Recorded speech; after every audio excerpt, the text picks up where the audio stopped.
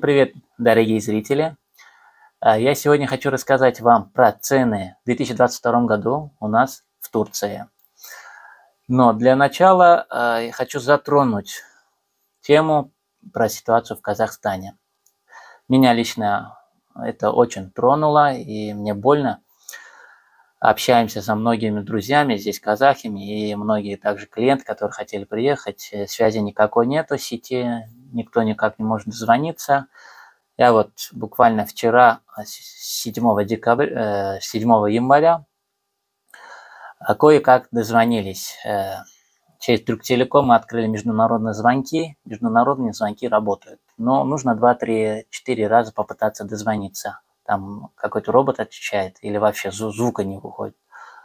Через несколько звонков ну, телефон уже Э, на телефон уже отвечают. Э, насчет вот этих звонков вы можете и в Турксель позвонить, и в Турктелеком, чтобы они вам открыли международные звонки. Для тех, кто беспокоится о своей родне в Казахстане, э, потому что интернета до сих пор вроде нету. Сегодня уже 8 января. А мы дозвонились, они сказали, уже вроде нормализовалась тема в, этом Алмате. Э, мало стреляют, но сказали от, отцу, вот этот сын сказал, что отец, не беспокойся, все нормально, мы дома все, ждем, пока э, скажут, что уже все, ЧП закончилось, чрезвычайная ситуация. И все, я нажал отбой. Теперь сегодня тоже хотели дозвониться.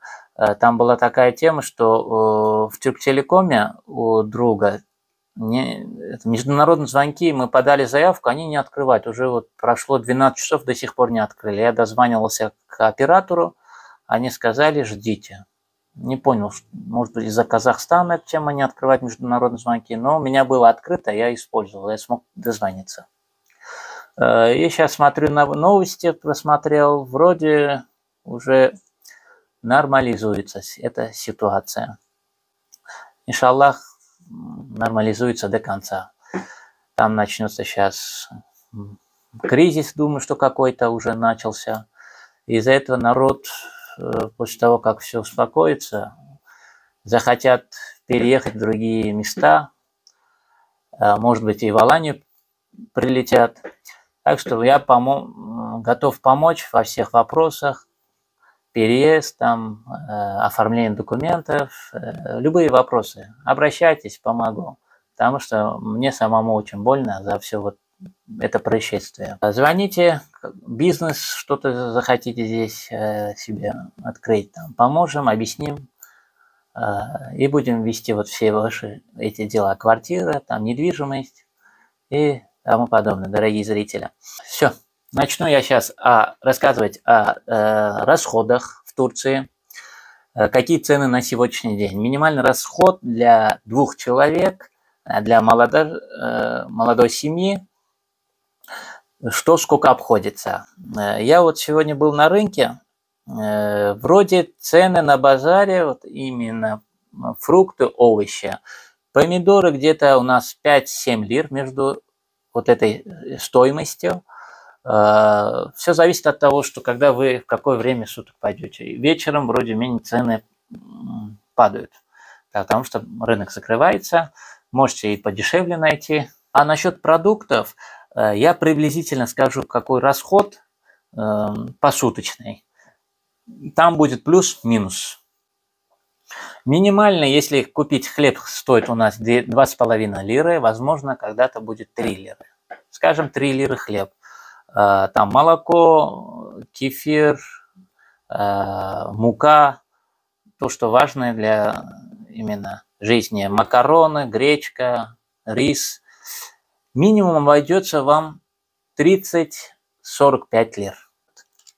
350 лир – это вот плюс-минус то, что вы тратите в неделю. Если купите мясо, то где-то 420 неделю один раз там. 500 грамм фарша стоит где-то 40 лир. Курица, ножки 35-45 лир между ними. По моим расходам месяц уходит 1680 лир. Если в неделю покупать один раз, два раза мясо или там фарш какой-то, э, курицу. Э, максимум, скажем, 2000 лир.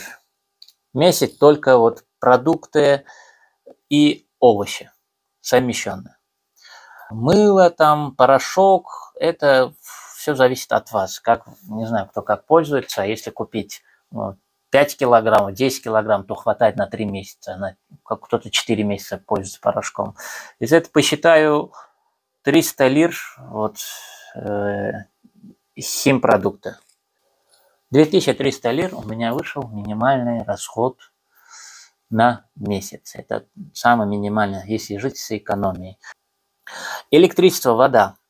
Электричество, она в сезон э, приходит мало, так как э, жарко, э, кондиционер кто-то включает, кто-то открывает двери, сквозняк дома. Все, все зависит от стороны квартиры. Западная, южная, северная, восточная. Из этого тоже сложно сказать. У каждого человека э, электричество, коммунальный расход приходит по-разному. Я приблизительно сейчас скажу, э, январь месяц, вот мне двухкомнатная квартира, жена каждый день включает кондиционер, и до утра у нас горит электрическая печка. Это уфа называют по-турецки, э, красная вот эта, инфракрасная. Мне пришло 500 лир, вот зимой, двухкомнатная квартира. А, значит, 2300 лир я посчитал продукты, скажем, 2500 округлим, 2500, плюс 500 лир электричество, плюс вода выходит где-то 50-70 лир. 70 лир посчитаю, плюс 70 лир. Кстати, электричество э, подняли. Сейчас стало 1 киловатт 1,33 куруш или 37 куруш. Э, вода раньше стоила 1 кубометр стоил 7 лир, сейчас где-то 9 лир. Этот месяц я не знаю, сколько придет. Уже жене сказал, чтобы она начала экономить, мало включала печь электрическую. 3070 лир у меня вышло свет, вода, продукты, овощи, фрукты, э, ну, скажем, 3000 лир выходит с коммунальными расходами а минимальная зарплата, то есть минимальная трата на двух э, человек. А так, если вас трое, четверо, думаю, что 3500-3800 лир. Э, минимальная зарплата в Турции на данный момент 4100 лир. Это самая минимальная, а так 4250 лир. Там меняется по э, этому квалификация по профессиям. Э, но мне вроде объяснили здесь местные турки, друзья, некоторые будут э, сокращать компании именно сотрудников, чтобы, потому что и так работы мало стало, и платить зарплату 4200 не каждому, не каждый работодатель сможет. Э, вот такая ситуация на рынке на данный момент, и цены на недвижимость поднялись. После темы, то, что произошло в Казахстане, э, мои, я думаю, что после того, как все успокоится, вот народ захочет прилететь именно в Аланию или в другие регионы Анталии, и цены, думаю, что снова куда-то поднимутся, потому что что-то происходит с рынком, сами не понимаем. И так во всем мире цены на недвижимость понимаются. А в других городах, возможно, если произойдет какой-то спад недвижимости по всем мире, в других городах, возможно, это упадет. Но в Аланию это как-то не влияет. Я, звоню своим друзьям, нашим клиентам, которые приобретали недвижимость, и все они в плюсе 30%. Те, кто меня вовремя выслушал, купил на котловане, допустим, инвестировал, все сейчас в плюсе. Все за, у застройщиков все цены поднялись. Вчера только вот у нас друзья хотели застеклить балкон. Пришел мастер.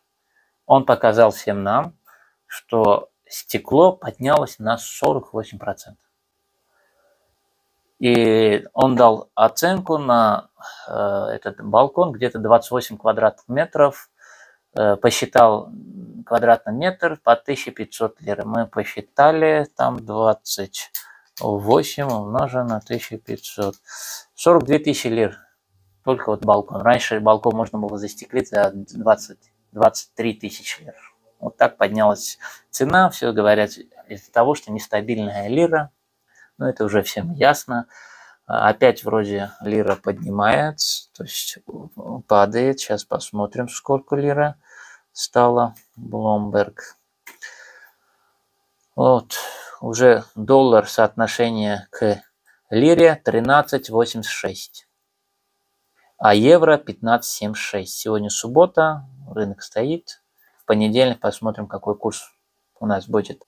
Итак, дорогие зрители, пишите, звоните по номеру WhatsApp, Telegram, Viber. Во всех вопросах постараюсь вам помочь. Все, с вами был Агаси, Солнечная Алания, район Махмутлар, компания Prestige Paradise, Алания. Всем пока-пока.